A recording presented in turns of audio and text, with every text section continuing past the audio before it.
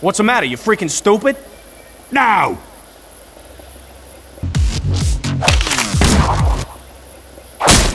Becoming a unicorn was the best decision I ever made.